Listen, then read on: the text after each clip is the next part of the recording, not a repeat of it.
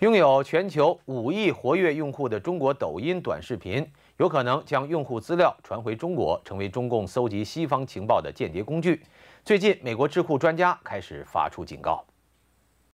一款以音乐为核心的手机社交媒体抖音，让客户拍摄十五秒短片，并分享流行音乐配乐。这款手机应用程式自二零一六年九月在中国推出后，短短两年就风靡全球，至去年底已打进一百五十多个市场，并以七十五种语言提供服务。据抖音母公司北京字节跳动科技统计，抖音全球每月活跃用户达五亿人。市场研究公司 Sensor Tower 指出，截至去年十月。抖音在美国苹果手机社交媒体的下载量占百分之三十，超越脸书公司旗下的 Instagram 和谷歌的 YouTube。美国智库彼得森国际研究所最新的研究报告指出，全球年轻人争相使用抖音，让这款中国的手机 App 拥有前所未有的跨境覆盖。中共利用网络平台电子技术进行广泛的监控，这是由来已久的。抖音在短短的两年多能够迅速的扩展，这个是他们有意识的去迎合用户的需求，同时呢又把用户的需求跟他们隐藏在幕后的意图呢结合在一起。值得关注的是，有很多美国年轻军人会用这款软件上传短片，其中有不少内容是他们健身训练的片段。从他们身上的制服可以看到他们的身份标签，而且有些拍摄地点是在军事设施内。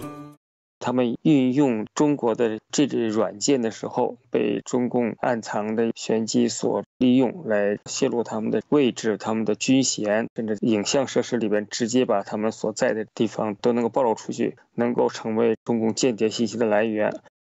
彼得森研究所的报告指出，中共制定的法律明确规定，当局为了维护所谓的公共安全，有权向中国的运营商索要用户信息，与其他手机应用程式一样。抖音收集的用户位置等大量数据一旦传回中国，中共当局可以很容易地存取、利用数据，制作更容易辨别西方人面孔的监控软件，或者从数据中存取西方军事活动的情报。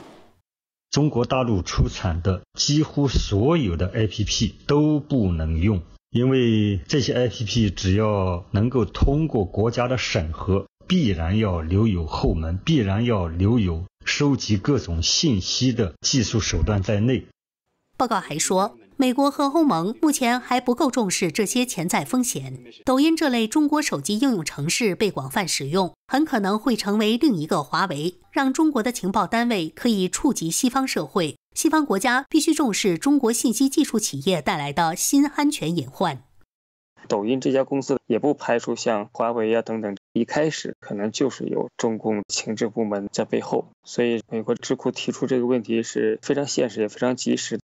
抖音事件呢，反映的是中国软实力的扩张，扩张到美国社会以后呢，会造成非常严重的社会危机、军事危机，甚至是经济危机。网络自由观察人士古河表示。每个人在软件 App 的选择应用方面要更加谨慎，不过有的时候真的防不胜防。他呼吁国际社会成立一个 App 相关组织，对所有中国大陆出产的 App 进行严格审查。而针对美国智库的指控，中共党媒《环球时报》辩称，在西方情报人员眼中，无论抖音或华为的产品再好，都有一个原罪，那就是他们来自红色中国。对此，澳大利亚华裔学者张小刚表示，这不是一个原罪的问题。中共长期的、非常有意识的在各个领域进行渗透，可以说，中共在夺取政权前就得心应手。他能打赢内战，就是遍布眼线、遍布情报人员的结果。他说，中共在这方面非常擅长，西方国家必须对中共时刻保持警惕。